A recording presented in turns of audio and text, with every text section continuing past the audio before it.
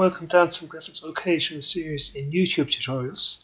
Uh, today we're doing this in Excel rather than MATLAB. We'll get around to MATLAB in a few days and we're looking at Kolmogorov Smirnov. So just go out to there. So we have the Kolmogorov Smirnov and I took this figure from Wikipedia and red is the CDF, that's the observed CDF, the observed cumulative distribution function, and blue is the expected continuous distribution function, and you're looking for the biggest gap. If the biggest gap is less than the critical value, we accept a null hypothesis. If the biggest gap is greater than, uh, we reject.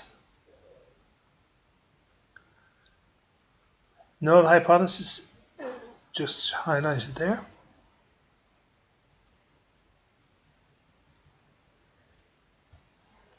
Is the one drawn from the reference distribution. So we'll be doing a normal distribution today. So the null hypothesis is the data is normally distributed.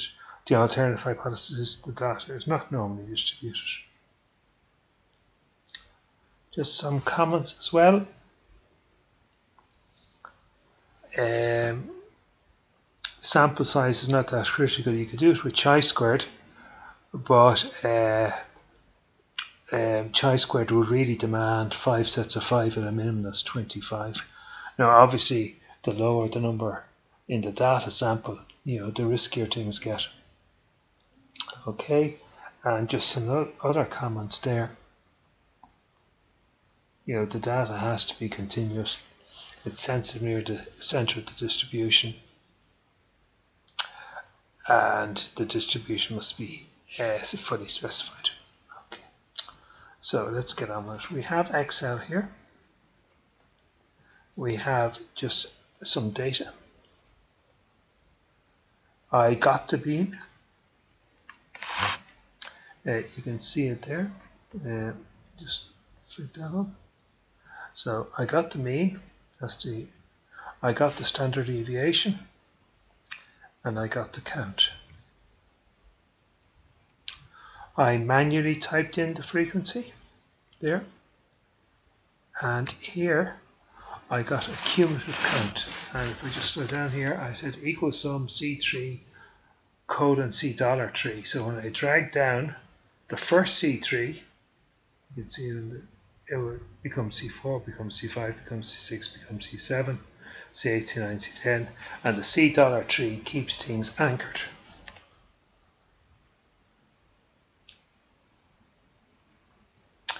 There I got 1 over 15, 2 over 15, 3 over 15.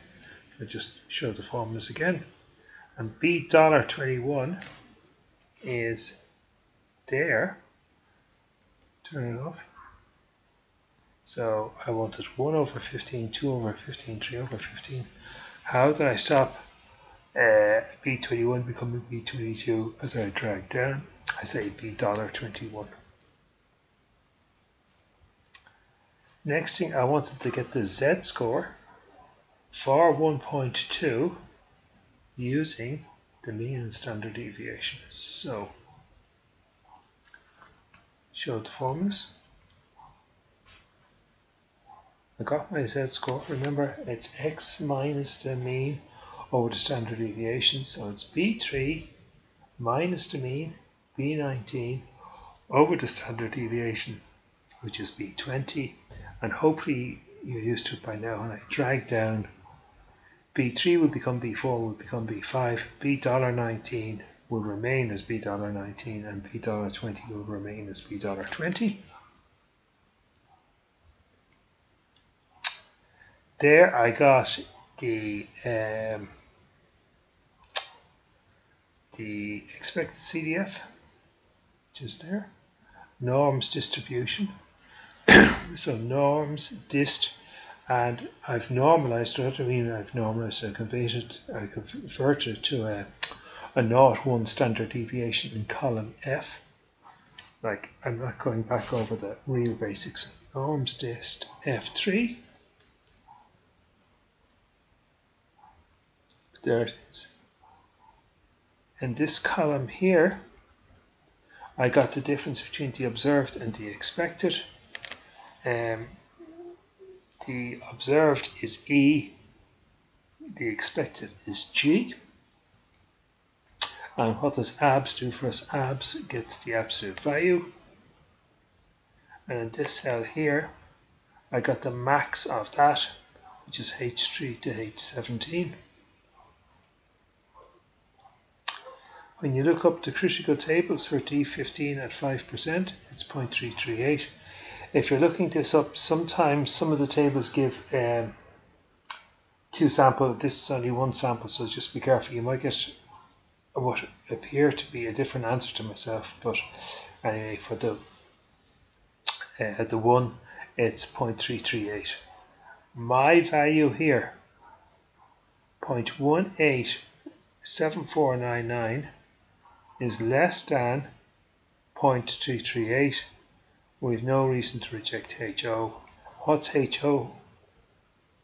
The distribution is normal. What's HA? The distribution is not normal.